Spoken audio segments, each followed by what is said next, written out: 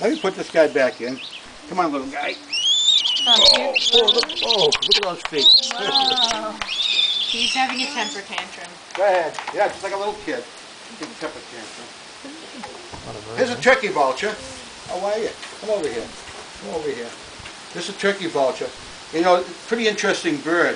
If you look at that head, you know, featherless head, the, the feeding habits of a turkey vulture, to say the least, are not very pleasant. And they eat carrion. The, the, the, the more stinky, the better. And uh, that featherless head is for carrion eating because they stick their head right into their food.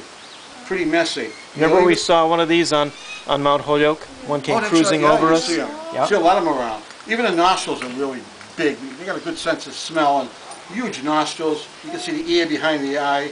But they're an incredible bird. This this bird has got a real incredible Could you pull- personality. Pull him out or her yeah. out? Uh, let me get. It's always nice to see that I didn't need my wingspan. glove here. Wait a minute. Let me get my glove. Okay.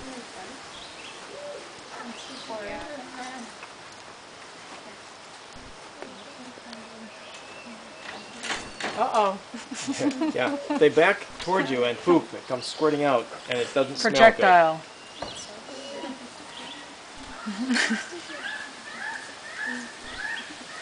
I just think this wingspan is so Oh, phenomenal when impressive. she. Oh uh, yeah. What bird. Hey, let's go, guy. Oh, come on.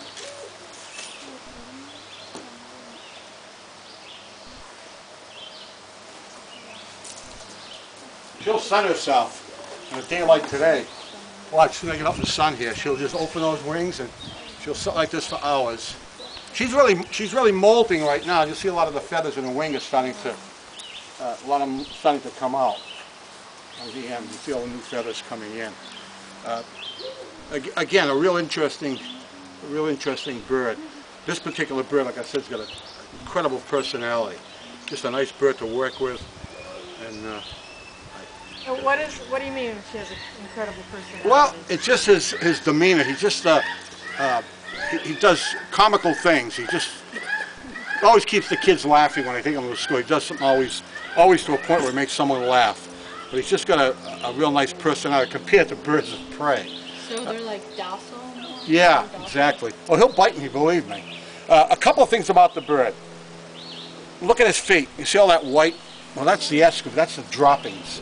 Uh, when it's a real hot day, uh, the bird, instead of his droppings going out on the ground like most birds, they'll just run right down his legs. And the alcohol in the droppings help to keep the birds, well, speaking of droppings, help to keep the bird cool. Uh, the alcohol absorbs on the legs into the body, helps the body keep the body uh, cool. Also, uh, when a turkey vulture gorges itself and eats so much food, sometimes it can't fly well. And if he's threatened by, threatened by a predator or someone else, he'll uh, regurgitate his stomach content. He'll throw it up to make himself lighter so he can get off the ground. Here's what I mean about him sunning himself. He'll stay like this all day.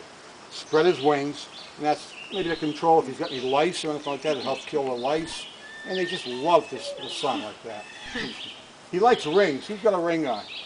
I got a real good diamond collection. Well, anything that's shiny on your hand, boy, he'll really, he'll really check it all out. Ouch! That hurt. Well, that beak is like a, that beak, you see the little hook on it, but the edges are very sharp, you know, like a razor blade. And this bird, you know, when, it, when it's uh, feeding, well, it can tear into anything. But uh, uh, if you cut, grabs your hand, you know, it's really, really sharp, you know, really, really sharp. What are you doing there? That's a turkey vulture. You know, a lot of a lot of people here have probably heard, you know, everybody talk about global warming. Uh, you know, the turkey vulture is a good indication because years ago, there weren't many turkey vultures around. Now they're everywhere. Now the black vulture, you see them down south.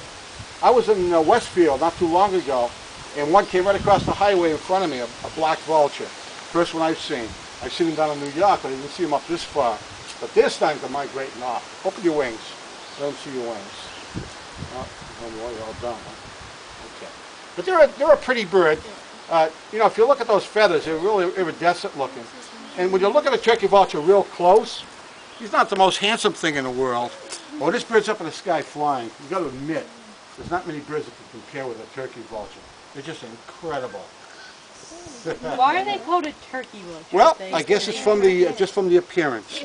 The red head and dark brown, black body, when they're on the ground walking around, which they do a lot. A lot of people, you, you go by a road, sometimes you'll see them out in the field and you'll think, oh, turkeys, and it's turkey vultures. Tom, explain about that, about the, that nostril there. That, Oh, yeah. You see the, the nostrils, you can look right through. Uh, good sense of smell.